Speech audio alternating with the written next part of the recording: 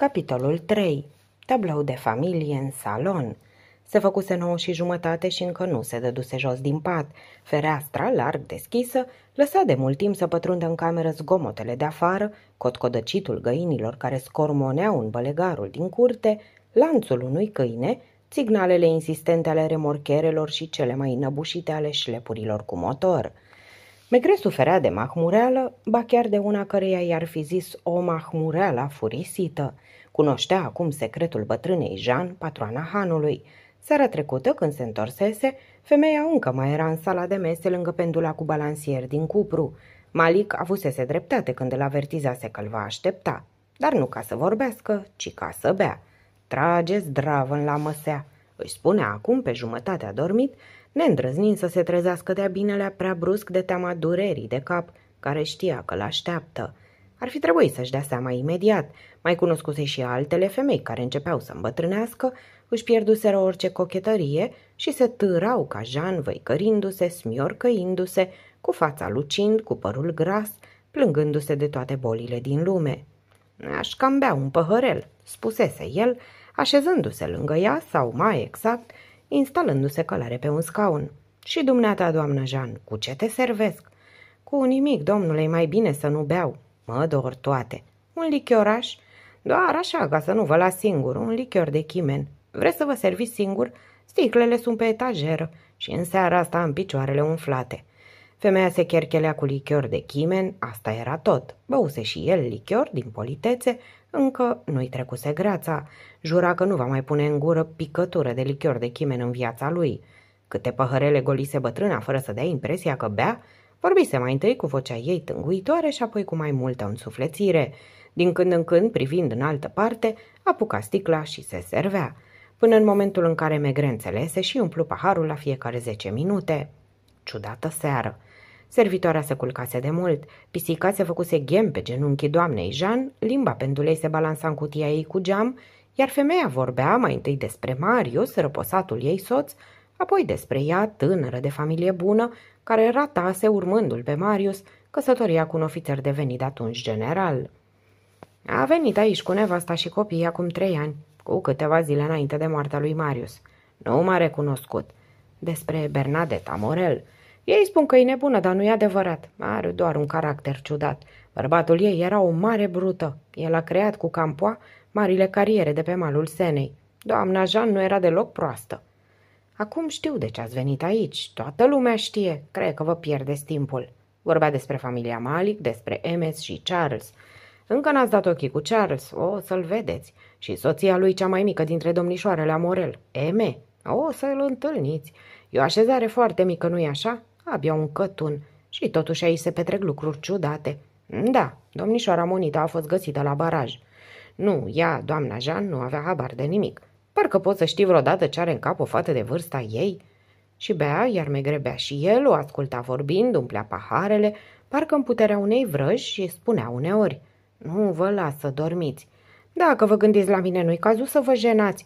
Dorm atât de puțin din cauza durerilor. Dar dacă vă e somn, mai stătuse puțin și când urcaseră fiecare pe altă scară, Megre auzise un zgomot clar care indica faptul că doamna Jean căzuse pe trepte. Probabil că încă nu se trezise. Megre se hotărâ să se dea jos din pat și să se îndrepte spre toaletă, în primul rând ca să bea apă rece cu înghițituri mari, apoi ca să-și spele transpirația urât mirositoare datorată alcoolului, lichiorului de chimen. Nu, niciodată n-avea să mai pună gura pe un pahar cu lichior de chimen. Ia uite, cineva sosea la Han auzi vocea servitoarei. Dacă vă spun că încă nu s-a trezit, se plecă pe fereastră și văzu o cameristă în roche neagră și cu șorț alb, stând de vorbă cu Raimond. Pe mine mă caută. Întrebă el. Camerista ridică imediat capul și spuse, Vezi bine că nu doarme. Avea în mână o scrisoare, un plic cu chenar negru și preciza. Se așteaptă răspuns. Raimond i-a aduse scrisoarea. Megreș trăsese pantalonii pe el și bretelele i-a târnau pe coapse. Era deja cald. Dinspre fluviu urca un abur subțire. Vreți să veniți să ne vedem cât mai repede posibil? E mai bine să o însoțiți pe camerista mea, care vă va conduce în apartamentul meu. Altfel, s-ar putea să nu fiți lăsați să urcați. Știu că trebuie să vă întâlniți cu toți la prânz. Bernadetta Morel. Megreu urmă pe cameristă, o femeie la vreo 40 de ani care era foarte urâtă și avea aceiași ochi negri și lucitori ca și stăpâna ei. Nu rostea niciun cuvânt și părea a spune prin atitudinea ei. Nu e cazul să mă trageți de limbă. Am ordin să nu scot o vorbă. Merseră pe lângă zid, intrară pe poarta mare de fier și străbătura alea care ducea la vasta locuința familiei Amorel. Păsările cântau în toți copacii din parc. Grădinarul se lupta cu o roabă plină cu bălegar. Casa era mai puțin modernă ca aceea lui Emest Malik, mai puțin fastuoasă, parcă deja estompată de ceața timpului. Pe aici. Nu intrară pe ușa din față, din dreptul peronului, ci pe ușa mică din aripa dreaptă și urcară o scară cu pereți împodobiți cu stampe din secolul al XIX-lea. Până să ajungă pe palier, o ușă se deschise și își făcu apariția doamna Amorel, la fel de dreaptă și de fermă ca atunci când o cunoscuse. A durat cam mult, spuse ea. Domnul nu era gata. A trebuit să-l aștept să se îmbrace. Intrați pe aici, domnule comisar. Am crezut că un om ca dumneavoastră se scoală de dimineață. Era un dormitor, un dormitor foarte mare cu trei ferestre. Patul cu coloane era deja făcut. Pe mobile se aflau diferite obiecte și intuiai că aproape întreaga viața bătrânei se derula în acea încăpere, că era domeniul ei exclusiv, unde nu pătrundeai cu ușurință. Luați loc, insist. Nu-mi place să vorbesc cu cineva care stă în picioare. Puteți să vă fumați pipa dacă asta vă lipsește. Soțul meu trăgea din pipă de dimineață până seara. Nu miroase la fel de urât ca țigările de foi. Prin urmare, ați cinat deja la ginerele meu. Ar fi putut să pară comic faptul că îl trata ca pe un băiețel, numai că acum Megre nu avea deloc simțul umorului. Într-adevăr, am luat cina cu Emest Malik, răspunse el ursuz. Ce v-a spus? Că sunteți o bătrână nebună și că fiul lui George Henry e aproape la fel de nebun ca dumneavoastră. L-ați crezut? Pe urmă, când mă întorceam la Han, cineva care consideră probabil că am deja o carieră destul de bogată, a tras cu pușca în direcția mea. Presupun că tânărul se afla aici? Care tânăr? Vorbiți de George Henry? Nu l-am văzut seara trecută. Totuși tatălui a pretins că s-a refugiat aici. Dacă luați tot ce spune el drept literă de Evanghelie, nu aveți nicio veste despre el. Niciuna, deși aș vrea tare mult să am. Pe scurt, ce ați aflat? În acel moment Megre se uită la ea și se întrebă fără să știe de ce dacă bătrâna chiar dorea ca el să afle ceva. Se pare că sunteți în termen foarte buni cu ginerele meu, Emest, continuă ea. Am fost colegi de clasă la liceul din Mulins și se încăpățânează să mă tutuiască, la fel ca atunci când aveam 12 ani. Era într-una din zilele lui rele, îl durea capul, Pipa avea un gust rău și ca să o însoțească pe cameristă, fusese nevoit să plece fără să-și bea cafeaua, deoarece la Han nu era făcută. Începea să se sature de familia aceea cărei membri se spionau reciproc și în care nimeni nu părea că spune adevărul. Mi-e teamă pentru George Henry, murmură ea. Ținea mult la verișoara lui. Nu sunt sigură că n-a fost ceva între ei. Are 16 ani. Ea îl măsură din cap până în picioare. Și credeți că asta e o piedică? Niciodată n-am fost mai îndrăgostită ca la 16 ani și dacă ar fi trebuit să fac o prostie, la vârsta asta aș fi făcut-o. Ar fi bine să dați de John Harry. Iar el curăceal aproape sarcastic. Și unde mă sfătui să caut? Asta nu-i treaba mea. Mă întreb de ce tatălui a pretins că l-a văzut venind aici. Malik știe foarte bine că nu e adevărat. Vocea ei exprima o îngrijorare reală. Se plimba prin cameră, dar de fiecare dată când Megre se făcea că vrea să se ridice, repeta. Stați jos! Vorbea parcă pentru ea. A organizat pentru astăzi un mare dejun. Nu vor lipsi Charles și soția lui. I-au mai invitat și pe bătrânul Campoa și pe boșorogul acela de gru. Am primit și eu o invitație dimineață la prima oră. Mă întreb dacă George Henry se va întoarce acasă până atunci. Nu mai aveți nimic altceva să-mi spuneți, doamnă? Ce înseamnă asta? Nimic. Când ați venit ieri la meu, ați lăsat să se înțeleagă că nu credeți că nepoata dumneavoastră a murit de moarte naturală. Bătrâna îl privi insistent, fără să se lase să vadă nimic din ceea ce gândea. Și de când vă aflați aici, vreți să spuneți că vi se pare normal ceea ce se petrece?" replică ea destul de vehement. N-am spus asta. Ei bine, continuați, mergeți la dejun. Veți fi acolo. Habar n-am. Priviți în jur, ascultați ce vorbesc. Și dacă sunteți chiar atât de bun polițist precum se spune... Se vedea bine că bătrâna nu era mulțumită de el. Nu era destul de flexibil, nu îi respecta îndeajuns maniile. Era dezamăgită că încă nu descoperise nimic era nervoasă, îngrijorată, deși se stăpânea. Se îndreptă spre ușă, indicându-i astfel că acum putea să plece. Tare mi-e teamă că pramatile astea sunt mai inteligente decât dumneavoastră, spuse ea în loc de rămas bun. Vom vedea. Acum pun pariu pe tot ce vreți că ceilalți vă așteaptă jos. Într-adevăr, Când ajunse pe coridor, o ușă se deschise fără zgomot. O cameristă, alta decât cea care l-a dusese acolo, îi spuse cu reverență. Domnul și doamna Malik vă așteaptă în salonaș. Vă rog să poftiți. Casa era răcoroasă, cu pereții zugrăviți în culori spălăcite, cu uși sculptate, cu mici panouri, tablouri și gravuri peste tot. Covoare groase înnăbușau zgomotul pașilor și jaluzelele lăsau să pătrundă exact câtă lumină era nevoie. După ultimă ușă, făcu doi pași și se pomeni în fața domnului și doamnei Malik, care l-așteptau îmbrăcați în negru. De ce nu a avut în acel moment impresia de realitate, ci de tablou de familie realizat cu mare știință? Încă nu-l cunoștea pe Charles Malik, la care nu regăsea niciuna dintre trăsăturile fratelui său, deși exista un aer de familie. Era puțin mai tânăr, mai corpolent. Figura lui sanguină era mai trandafirie, iar ochii nu erau cenușii ca a lui Emes, ci de un albastru aproape candid. Charles nu manifesta nici siguranța fratelui său și avea cearcăne la ochi, o oarecare moliciune a buzelor, o neliniște în privire. Stătea foarte drept în fața căminului de marmură albă, iar soția lui ședea alături într-un fotoliu Luis 16, cu mâinile pe genunchi ca pentru o fotografie. Ansamblul emana întristare, chiar deznădejde. Vocea lui Charles Malik era ezitantă. Intrați, domnule comisar, și scuzați-ne că v-am cerut să treceți pe la noi. Doamna Malik semăna foarte mult cu sora ei, dar era mai fină, având și ceva din vioiciunea mamei sale. Vioiciunea era în acel moment parcă estompată, dar doliul era de ajuns să explice acest lucru. În mâna dreaptă ținea o batistă mică făcută ghem, pe care avea să o frământe între degete tot timpul. Luați loc, vă rog.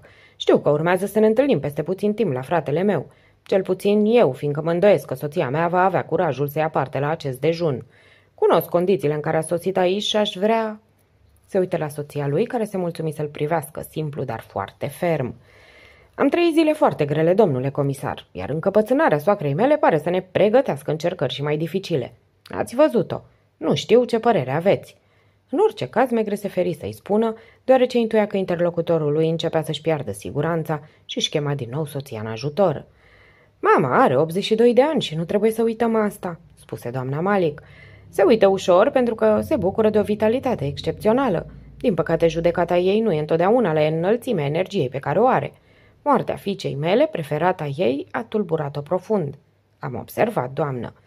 Acum puteți vedea în ce atmosferă trăim de la această catastrofă. Mama și-a băgat în cap că în spatele ei se ascunde nu știu ce mister. Cu siguranță că domnul comisar a înțeles, interveni Charles Malik. Nu te enerva, dragă. Soția mea stă cam prost cu nervii, domnule comisar, ca noi toți în acest moment. Numai afecțiunea noastră față de soacra mea ne împiedică să luăm măsurile care ar părea să se impună. De aceea vă cerem, megreciului urechile, vă cerem să cântăriți bine situația înainte de a... Apropo, oare nu bărbatul acesta gras și ezitant trăsese seara trecută asupra lui? Ideea îi venise brusc lui Megre și nu era deloc neverosimilă. Emest Malik era un animal cu sânge rece și probabil că dacă ar fi tras ar fi țintit cu mai multă precizie, nu și fratele lui. Înțeleg în ce situație sunteți, continuă stăpânul casei, sprijinit cu cotul de cămin, sporind și mai mult impresia de portret de familie. E delicată, foarte delicată. În fond, în fond, tranșă Megre cu aerul lui cel mai ipocrit, mă întreb de ce am venit aici. Îl privea pe bărbatul din fața lui pe sub sprâncene și nu-i scăpă tresărirea de bucurie a acestuia. Era exact ce doreau să audă de la el. În definitiv ce căuta acolo? Nimeni nu-l chemase, doar o bătrână de 82 de ani care nu mai era întreagă la minte. Fără să spun chiar asta, îl corectă Charles Malik ca un desăvârșit om de lume, dat fiind că sunteți un prieten al lui Emest, cred că ar fi mai bine. Ascult. Da, cred că ar fi mai potrivit, să spunem de dorit, să nu susțineți prea mult ideile soacrei mele pe care, care... Sunteți convins, domnule Malik, că moartea fiicei dumneavoastră este absolut naturală? Cred că a fost un accident. Roșise, dar răspunsese cu fermitate. Și dumneavoastră, doamnă? Batista devenise un ghemotoc în mâna ei. Cred ce crede și soțul meu. În acest caz, evident. Le dădea speranță. Îi simțea cum se umpleau de speranța că avea să-l scutească pentru totdeauna de prezența lui stânjenitoare. Sunt obligat să răspund invitației fratelui dumneavoastră. Apoi, dacă nu se întâmplă nimic, dacă niciun fapt nou nu impune prezența mea. Se ridică aproape la fel de stânjenit ca și ei. Era nerăbdător să ajungă afară să respire adânc. Atunci ne revedem mai îndată, spuse Charles Malik. Îmi cer scuze că nu vă conduc, dar mai am încă treabă. Nu face nimic. Omagiile mele, doamnă. Încă se afla în parc, îndreptându-se spre Sena, când auzi un zgomot care îl frapă. Era cel al manivelei unui telefon rural, cu soneria scurtă, care anunța că apelul fusese auzit.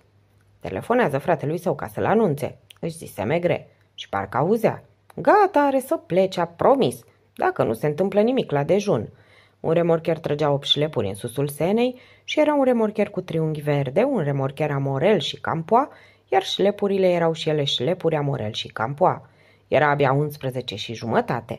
Nu îndrăznea să mai treacă pe la Han, unde nici nu avea nimic de făcut de altfel. Mergea pe malul apei cu mintea plină de gânduri confuze. Se opri ca un gură cască în fața trambulinei luxoase a lui Emest Malik. Stătea cu spatele la casa lui. Ce mai faci, megre?" Era Emest Malik, purtând de data asta un costum gri din bumbac, pantofi alb din antilopă și o pălărie cu boruri mari. Am primit adinaur un telefon de la fratele meu. Știu. Se pare că te-ai săturat deja de poveștile soacrei mele. Avea o voce reținută și privire insistentă. Dacă înțeleg bine, vrei să te întorci la soția și salata ta. Atunci, fără să știe de ce, poate că asta se numește inspirație, Megre, devenind mai greoi și mai inert ca niciodată, răspunse Nu. Malik resimți vizibil lovitura. Stăpânirea de sine nu-l ajută să se controleze. O clipă arătă ca unul care încearcă să înghită în sec, iar mărul lui Adam îi urcă și coboară de două-trei ori. Ah! Aruncă o privire scurtă în jur, dar nu cu intenția de a-l împinge pe Megre în sena. Mai avem încă destul timp până la venirea invitaților. De obicei ne așezăm târziu la masă. Vino un moment în biroul meu. Traversară parcul în tăcere. Megre o întrezări pe doamna Malik aranjând florile în vazele din salon. Dă dură o colvilei și Malik intră înaintea oaspetelui său într-un birou destul de mare cu fotolii adânci din piele, având pereți împodobiți cu machete de embarcațiuni. Poți să fumezi!" Închise ușa cu grijă și trase pe jumătate jaluzelele, deoarece soarele inunda încăperea. În sfârșit se așeză la birou și început să se joace cu un papier din cristal. Megre se așezase pe brațul unui fotoliu și își umplea fără grabă pipa cu aerul unui om care nu se gândește la nimic. Deoarece tăcerea dura de ceva timp, întrebă cu blândețe. Unde e fiul tău?" Care?" Apoi desmeticindu-se. Nu e vorba de fiul meu." E vorba de mine. Ce vrei să spui?" Nimic." Ei bine, da, de tine." Și lângă bărbatul elegant, cu silueta zveltă, cu fața fină și îngrijită, Megre chiar că arăta ca un necioplit. Cât îmi oferi? De unde știi că aveam de gând să-ți ofer ceva? Presupun. La urma urmelor, de ce nu? Administrația nu-i prea generoasă. Nu știu câtă pensie îți dă. 3200.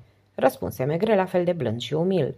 Apoi adăugă cu o candoare dezarmantă. Bineînțeles, avem și ceva economii. De data asta, Emest Malik era cu adevărat tulburat. Îi se părea prea ușor. Avea impresia că fostul lui coleg de școală își bătea joc de el. Și totuși... Auzi? Sunt numai urechi. Știu foarte bine ce ai să gândești. Gândesc foarte puțin. O să-ți imaginezi că mă stânjene și că am ceva de ascuns. Și chiar dacă ar fi așa... Da, chiar dacă ar fi așa, asta nu m-ar privi, nu? Ești ironic? Nici vorbă. Trebuie să înțelegi că ți-ai pierdut timpul cu mine. Probabil că te crezi foarte șiret. Ai reușit o carieră onorabilă urmărind hoți și asasini. Ei bine, aici bietul meu jul nu există nici hoți și nici asasini. Înțelegi? Ai nimerit dintr-o pură întâmplare într-un mediu pe care nu-l cunoști și unde ai putea să faci mult rău. De asta îți spun cât? O sută de mii. Megre nici nu clipi, mulțumindu-se să dea din cap cu ezitare. 150. Aș merge chiar până la 200 de mii. Malik se ridicase, nervos, crispat, jucându-se în continuare cu acel cu papier, care bruschi se rupse între degete. O picătură de sânge se ivi pe degetul arătător și Megre remarcă. Te-ai tăiat. Taci! Sau mai bine răspunde la întrebarea mea. Îți semnezi un cec de 200 de mii de franci, nu un cec? N-are importanță. Plecăm imediat cu mașina la Paris și iau bani de la banca mea. Apoi te duc eu înapoi la Meung. Megre oftă. Ce răspunzi? Unde-i fiul tău? De data asta Malik nu-și mai putu reținu furia. Asta nu-i treaba ta, nu-i treaba nimănui, înțelegi? Nu sunt în biroul tău de la poliția judiciară și nici tu nu mai ești ce ai fost. Îți cer să pleci pentru că prezența ta aici e cel puțin inoportună. Mințile lucrează, oamenii își pun întrebări. Ce întrebări? Pentru ultima dată îți propun cu frumosul să pleci. În schimb, sunt gata să-ți ofer o mare compensație. Da sau nu? Nu, bineînțeles. Foarte bine, în acest caz sunt obligat să schimb tonul. Nu te jena. Nu sunt naiv și n-am fost niciodată. Altfel n-aș fi devenit ceea ce sunt. Ori prin încăpățânarea ta, prin prostia ta. Da, da, prin prostia ta ai putea să provoci niște necazuri pe care nici măcar nu le bănuiești. Și îți pare bine, nu-i așa? Te crezi și acum la poliția judiciară strângând cu ușa vreun mic bandit sau vreun golan tinerel care a sugrumat o bătrână. Eu n-am sugrumat pe nimeni și nici n-am furat pe cineva. În cazul ăsta, liniște! Vrei să rămâi, atunci vei rămâne. Vei continua să-ți bagi nasul la mare peste tot. Numai că o vei face pe riscul tău. Trebuie să înțelegi, megre, că sunt mult mai puternic decât tine. Și am dovedit-o. Dacă aș fi fost din același aluat ca tine, aș fi devenit un mic perceptor ca tata. Foarte bine bagă în ce nu te privește. O vei face pe riscul tău. Își redobândise calmul aparent și buzele sale aveau din nou acea răsfrângere sarcastică. Megre care se ridicase și căuta pălăria. Unde te duci? Afară. Nu e masa cu noi? Prefer să prânzesc în altă parte. Cum vrei? Să știi că și în privința asta ești mic. Mic și meschin. Asta-i tot? Da, deocamdată. Cu pălăria în mână se îndreptă liniștit spre ușă. O deschise și ieși fără să se mai uite înapoi. Afară o siluetă se îndepărta în grabă, iar Megre a avut timp să-l recunoască pe Jean-Claude, fiul cel mare, care probabil stătuse sub fereastra deschisă cât ținuse discuția și auzise totul. Dădu și el ocol vilei și pe aleea principală trecu pe lângă doi bărbați pe care nu-i cunoștea încă. Unul dintre ei, mic și solid, avea un gât enorm și mâini mari și vulgare, probabil domnul Campoa, deoarece semăna cu cel descris de Jean în seara dinainte. Celălalt, probabil nepotul lui, era un tânăr înalt cu o figură deschisă. Amândoi îl priviră cu oarecare mirare, în timp ce se îndrepta liniștit spre poarta mare de fier, apoi întoarseră capul, ba chiar s-opriră să se uite după el. Am făcut-o și pe asta, își spuse Megre îndepărtându-se pe malul Senei. O barcă traversa fluviul, condusă de un bătrân în costum de pânză gălbuie și cu o cravată de un roșu superb. Era domnul Gru, care venea și el la dejun. Vor fi prezenți cu toții, mai puțin Megre, deși pentru el fusese organizată acea masă. Și George Henry. Megre început să grăbească pasul. Nu era foame, dar nu mai putea de sete. În orice caz, jură că, indiferent ce s-ar întâmpla, nu va mai bea lichior cu bătrâna Jean. Când intră în Han, nu o văzut pe patroană la locul ei, obișnuit lângă vechea pendulă. Băgă capul pe ușa bucătăriei și Raimond îi spuse Credeam că nu luați aici masa de prânz. Apoi ridicându-și brațele grase spre cer. N-am pregătit nimic, doamna se simte rău și nu vrea să coboare. Nu aveau nici măcar bere. Capitolul 4. Adăpostul de sus ar fi fost greu de spus cum se întâmplase, dar Megre și Raimond deveniseră acum prieten la toartă. Cu o oră în urmă era hotărâtă să nu-l lase să intre în bucătăria ei. Dacă vă spun că nu am nimic de mâncare, în plus nu-i plăceau bărbații. Considera că erau brutali și că miroseau urât. Cei mai mulți dintre cei care veneau la Han, chiar însurați, încercau să o pipăie și asta o scârbea. Intenționase să se călugărească. Era înaltă și molâie în pofida vigorii aparente. Ce căutați?" întrebase ea agasată, văzându-l pe comisar oprit în fața dulapului deschis. Ceva de mâncare, orice. E atât de cald încât n-am curaj să mă duc să mănânc la ecluză. Chiar credeți că găsiți ceva? Mai întâi, în principiu, hanul e închis. Mai exact, e de vânzare. De trei ani. Dar de fiecare dată când e pe punctul de a fi vândut, patroana ezită, caută obiecții și până la urmă zice nu. Deși n-are nevoie de el ca să-și ducă traiul. Dumneata, ce ai să mănânci? Pâine și brânză. Și crezi că nu va fi destul pentru amândoi? Avea un aer blând, cu fața lui puțin congestionată și ochii mari. Se instalase ca la el acasă în bucătărie și degeaba îi spusese Raimond. Nu stați aici că n-am terminat treaba. O să vă pregătesc masa în sală. Pentru că Megre se încăpățânase. O să mă uit dacă nu cumva a rămas o cutie de sardele, dar ar fi o pură întâmplare. Nu există prăvălin împrejurimi. Măcelarul, cârnățarul și chiar băcanul din corbei vin să-și livreze marfa la casele mari, la Aldemalic și Campoa. Înainte se opreau și aici și ne aprovizionau. Dar patroana a ajuns să nu mai mănânce aproape nimic și își zice că ceilalți n-au decât să facă la fel ca ea. Sta să văd dacă nu sunt niște ouă în cuibar. Erau trei. Megre insistase să facă el omleta, iar ea râsese privindu-l cum bătea ouăle separat, albuș și gălbenuș. De ce nu v-ați dus să prânziți la familia Malek dacă tot ați fost invitat? Se pare că le gătește unul care a fost bucătar șef la regele Norvegiei sau al Suediei, că nu mai știu.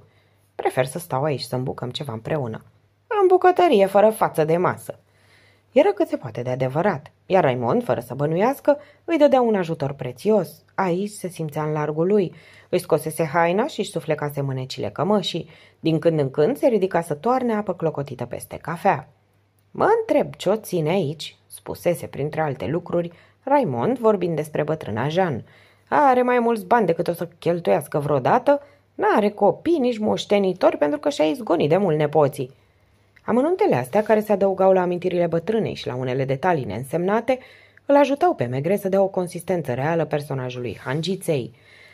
Raimond mai spusese și că Jean fusese frumoasă și era adevărat. Puteai să-ți dai seama, în ciuda faptului că avea 50 de ani și nu se îngrija, în ciuda părului gras și atenului incolor.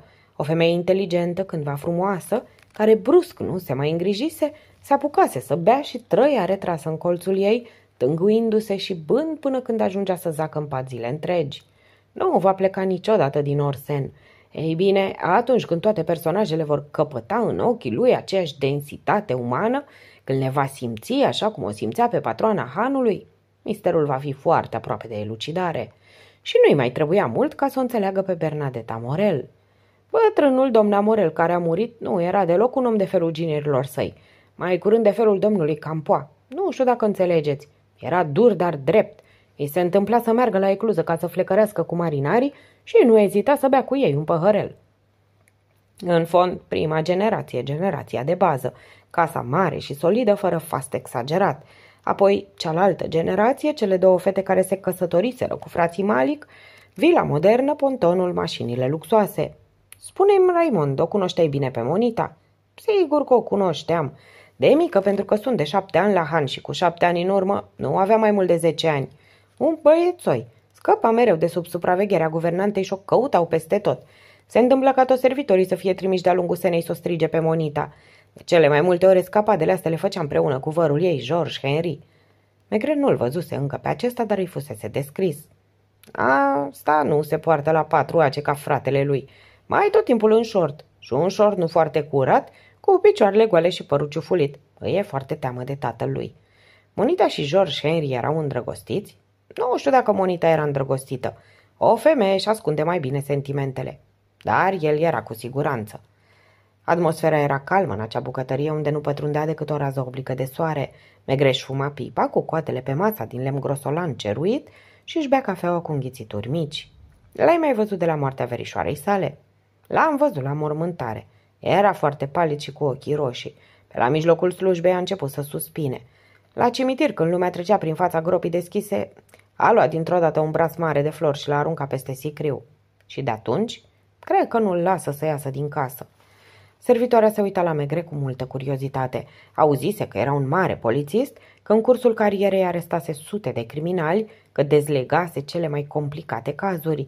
Iar acest om se afla acolo, în bucătăria ei, în cămașă, își fuma pipa, îi vorbea cu familiaritate și îi punea întrebări banale. Ce putea să spere? Aproape că era puțin milă de dânsul. Probabil că îmbătrânea deoarece fusese pensionat. Acum trebuie să spăl vasele, iar pe urmă pardoseala. Megre nu pleca și avea o față la fel de placidă ca și cum nu s-ar fi gândit la nimic. Pe scurt, Monita a murit și George Henry a dispărut, mormăi el deodată cu glas căzut. Iar ridică brusc capul. Sunteți sigur că a dispărut? Megre se ridică, își schimbă atitudinea, se încruntă și părut deodată hotărât. Ascultă-mă o clipă, Raimond, stai puțin. Dă-mi un creion și o hârtie. Ia smulse o pagină dintr-un caiet unsuros în care își ținea socotelile. Nu înțelegea unde voia să ajungă. Ieri, ia să vedem, ajunsesem la brânzeturi. Deci era aproape nouă seara. George Henry a sărit pe fereastra camerei și a luat-o la sănătoasa. În ce parte? Spre dreapta. Dacă ar fi coborât spre Sena, l-aș fi văzut traversând parcul. Dacă ar fi luat-o spre stânga, iar l-aș fi văzut, pentru că sufrageria are ferestre în ambele părți. O clipă. Tatălui a plecat după el. Emest Malik a lipsit 12 minute. E adevărat că în aceste 12 minute a avut timp să schimbe pantalonii și să se pieptene. Pentru asta probabil că a urcat în camera lui. Cel puțin 3-4 minute. Gândește-te bine înainte să răspunzi. Cunoști bine ținutul.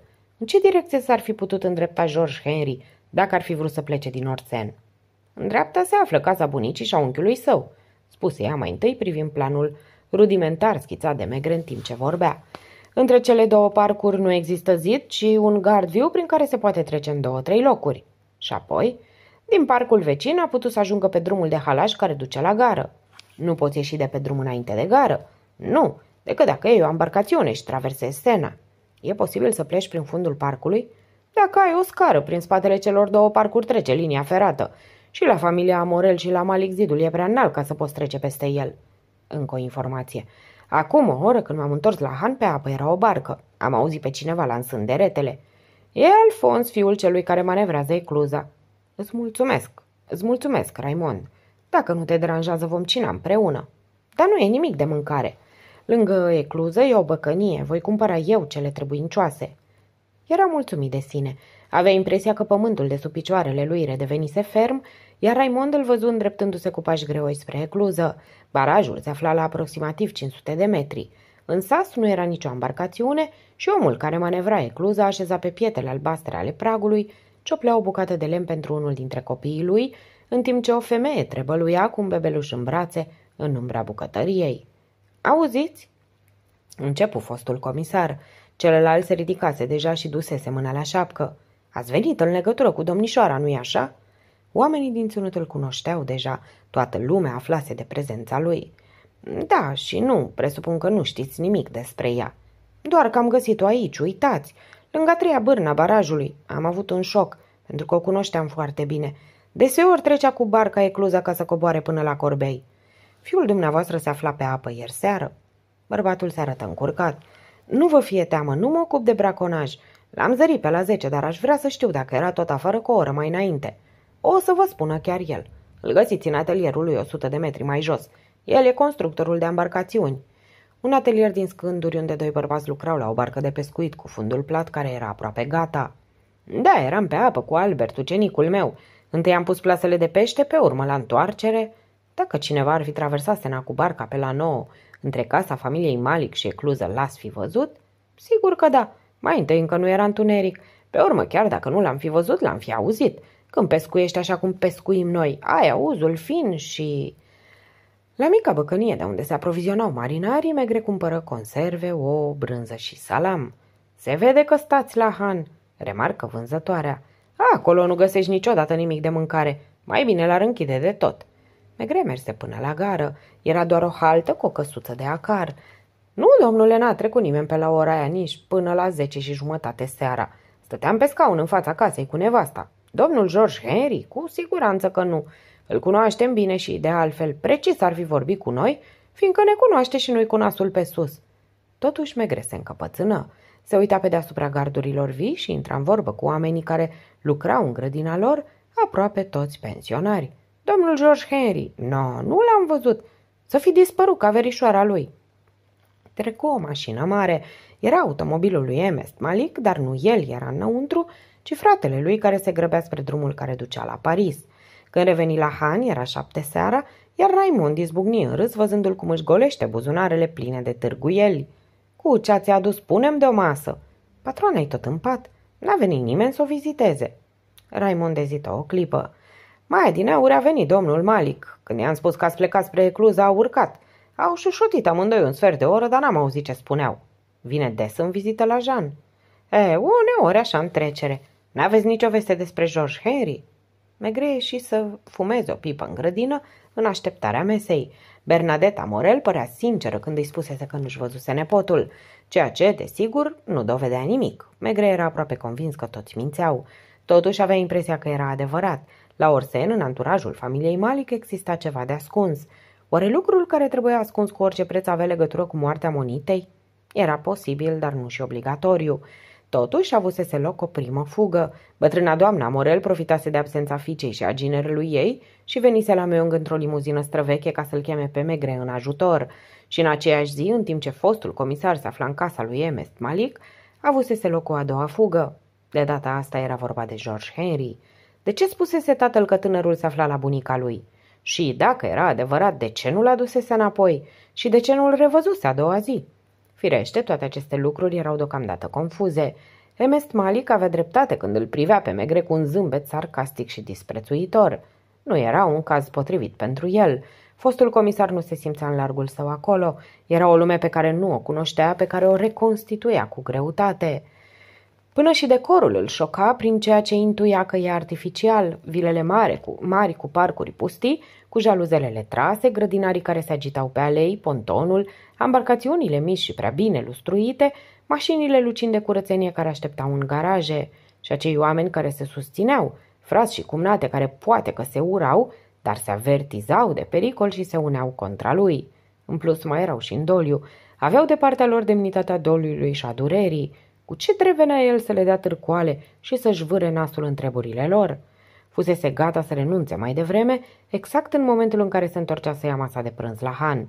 Dar atmosfera din bucătărie, cu delăsarea și dezordinea ei, Raimond cea ușor de îmblânzit, cuvintele pe care le rostise așa, fără să-și dea seama ce face, cu coatele pe masă, îl reținuseră. Și el le reținuse. Raimond îi vorbise despre Monita care semăna cu un băiat și fugea cu vărul ei, despre George Henry în șorț murdar cu părul în dezordine. Or, Monita murise și George Henry dispăruse. Îl va căuta, îl va găsi. Cel puțin asta era meseria lui. Făcuse turul localității, acum era aproape sigur că tânărul nu plecase, doar dacă nu cumva se ascunsese undeva ca să aștepte căderea nopții, când se putuse îndepărta fără să fie văzut. Megre mâncă cu poftă, tot în bucătărie, tot cu Raimond. Dacă ne-ar vedea patroana, s-ar supăra, spuse servitoarea. M-a întrebat mai devreme ce ați mâncat. I-am spus că v-am servit două ochiuri în sală. M-a mai întrebat dacă n-ați pomenit nimic de plecare. Înainte sau după vizita lui Malik? După. În acest caz, spun prin soare că nici mâine nu se va da jos din pat. A coborât mai adineauri, n-am văzut-o, era în fundul grădinii, dar am observat că a coborât. Megre zâmbi, înțelesese și o imaginea pe Jean coborând fără zgomot după ce pândise ieșirea servitoarei din casă ca să ia o sticlă de pe etajeră. E posibil să mă întorc târziu, o anunță el. V-au invitat din nou? Nu, n-am fost invitat, dar am chef să dau o raită. Se plimbă mai întâi pe drumul de halaj, așteptând să se lase întunericul, apoi se îndreptă spre barieră, unde îl văzu pe Acar, în umbră, așezat lângă ușă și trăgând din pipa lui cu coadă lungă. Aveți ceva împotrivă să fac o plimbare pe calea ferată?" Zău că nu e regulamentar. Da, dacă sunteți de la poliție, nu e așa. Să fiți atent că trece un tren la 10 și 17. După numai 300 de metri, zări zidul primei proprietăți, cel al doamnei Amorel și al lui Charles Malik. Încă nu se întunecase de tot, dar în case, becurile fusese aprinse de mult timp. Se vedea lumină la parter. Una dintre ferestrele de la primul etaj, de la camera bătrânei, fusese lăsată larg deschisă și era destul de ciudat să descopere astfel de departe, prin albăstreala aerului și calmul parcului, intimitatea unui apartament unde mobilaș și obiectele păreau încremenite într-o lumină gălbuie. Se uită într-acolo câteva clipe. O siluetă trecu prin câmpul lui vizual, dar nu era Bernadette, ci fica ei, soția lui Charles, care se plimba nervoasă și părea că vorbește cu vehemență. Bătrâna stătea probabil în fotoliu sau în pat sau într-un colț al camerei pe care nu-l zărea. Megre merse mai departe pe balas și ajunse în dreptul celui de-al doilea parc, al lui Emest Malik, mai puțin încărcat, mai aerisit, cu alei late și întreținute cu grijă. Și aici luminile fusese aprinse, dar răzbăteau doar prin jaluzele și nu se putea vedea ce se petrece în interior. În parc, pe care îl vedea de sus, ascuns în spatele unor aluni tineri ce creșteau lângă calea ferată, Megre zări două siluete înalte, albe și tăcute și-și aminti de câinii danezi care veniseră în ajuns să lingă mâinile stăpânului lor. Probabil că îi dezlega în fiecare noapte și erau foarte răi. În dreapta, în fundul parcului, se înălța o căsuță pe care comisarul nu o văzuse încă, unde probabil stăteau grădinarii și șoferul. Acolo se zărea o singură lumină care se stinse după o jumătate de oră. Luna încă nu apăruse și totuși noaptea era mai luminoasă decât cea dinainte. Megre se așezase calm pe taluz în fața alunilor care l-ascundeau, putând să-l îndepărteze cu mâna ca pe o perdea. Trenul de 10 și 17 trecu la mai puțin de 3 metri de el și Megre urmări cu privirea farurile roșii care dispăreau după cotul liniei ferate. Luminile din Orsen se stinseră pe rând. Bătrânul grup probabil că nu vâna porumbei în seara aceea, deoarece liniștea nopții nu a mai fost tulburată de niciun foc de armă. În sfârșit, aproape de ora 11, cei doi câini, care se culcaseră unul lângă altul la marginea unei peluze, se ridicară simultan și se îndreptară spre casă. Dispărură un moment în spatele ei și când îi revăzu, animalele însoțeau țopăi în silueta unui bărbat care mergea grăbit și părea că vine drept spre el. Era, fără doar și poate, Emest Malik. Silueta era prea slabă și plină de nerv ca să fie a vreunui servitor. Purta pantofi cu talpă de cauciuc și mergea pe peluze, ducând în mână un obiect imposibil de distins, dar destul de voluminos.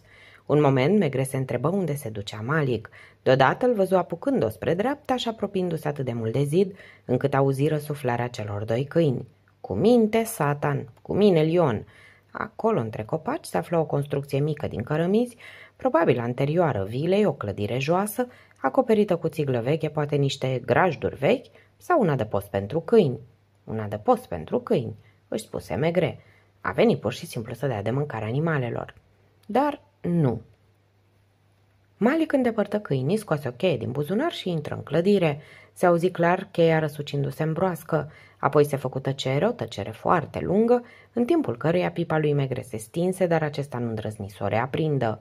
Trecu astfel o jumătate de oră și, în sfârșit, Malik ieșit din clădire, încuie ușa cu grijă în urma lui și, după ce se uită în jur, se îndreptă cu paje repede spre vilă. La 11 și jumătate totul era adormit, sau așa părea, și când Megre trecu iar prin spatele parcului familiei Amorel, nu mai zări decât o luminiță de veche în camera bătrânei Bernadette. Hanul era și el învăluit în beznă. Se întrebă cum va intra, dar chiar atunci ușa se deschise fără zgomot. O zări sau mai curând o ghici pe Raimond în cămașă de noapte, cu picioarele goale în papuci, care duse un deget la buze și șopti. Urcați repede, nu faceți zgomot. N-a vrut să las ușa deschisă. Megre ar fi dorit să mai zăbovească, să-i pună întrebări, să bea ceva, dar o trosnitură în camera patroanei o sperie pe tânără care se repezi pe scară. Atunci rămase un moment nemișcat. Mirosea ouă prăjite și puțină alcool. De ce nu? Aprinse un chibrit, luă o sticlă de pe etajeră și o puse sub braț ca să urce la culcare. Bătrâna Jean se mișca prin cameră. Știa probabil că se întorsese la Han. Dar Megre nu avea niciun chef să-i țină companie. Își scoase haina, gulerul, cravata, își lăsă bretelele satârne și în paharul pentru spălat pe dinți amestecă alcoolul cu apă. Fumă o ultimă pipă, sprijinit cu coatele de pervazul ferestrei, contemplând distrat vegetația care foșnea încetișor. Se trezi abia la șapte, auzind-o pe Raimond care se agita în bucătărie. Cu pipa în gură, prima pipă, cea mai bună, coborâ și îi dădu vesel binețe. Auzi, Raimond, tu care cunoști toate casele din ținut? Le cunosc, fără să le cunosc. Bine, în fundul parcului lui Emest Malik, într-o parte, e casa grădinarilor. Da, tot acolo dorm șoferul și servitorii. Cameristele dorm în vilă. Dar în cealaltă parte, lângă talul zucăii ferate, ce este? Nimic. Ba, e o clădire foarte joasă, un fel de cabană lungă. Ma de postul de sus, răspunse ea. Adică? Cândva cu mult înainte să fi venit eu aici, cele două parcuri forma unul singur. Era parcul familiei Amorel. Bătrânul Amorel era vânător și erau două adăposturi pentru câini, cel de jos, cum mi se spunea, pentru câinii de pază și cel de sus pentru câinii de vânătoare. Emest Malik vânează? Nu aici, unde nu-i destul vânat pentru el. Are însă un pavilion de vânătoare și câini în Solonie. Totuși ceva îl intriga. Clădirea e în stare bună? Nu mi-amintesc, n-am mai fost de mult în parc. Era o pivniță unde... Ești sigură că e o pivniță? În orice caz era. Știu pentru că oamenii ziceau că în parc e ascuns o comoară. Trebuie să vă spun că înainte ca domnul Amorel să construiască, în urmă cu 40 de ani și poate mai mult, exista deja un fel de mic castel în ruine. Se spunea că în timpul Revoluției cei de la castel își ascunseseră comoara în parc. La un moment dat, domnul Amorel s-a ocupat de asta și a adus oameni care pot să descopere lucruri ascunse. Toți spuneau că săpăturile trebuiau făcute în pivnița adăpostului de sus. În vorbe, mormăi megre. Important e că există o pivniță. Și în pivnița aia mica mea, Raimond, probabil că e închis bietul George Henry. Apoi deodată se uită la ea cu alți ochi. La ce oră am tren spre Paris? Peste 20 de minute, următorul e abia la 12.39. Mai trec și altele, dar nu opresc la Orsen.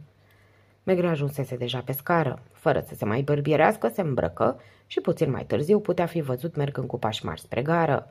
Auzindu-și patrona cum bătea în podeaua camerei sale, Raimond urcă la ea. A plecat?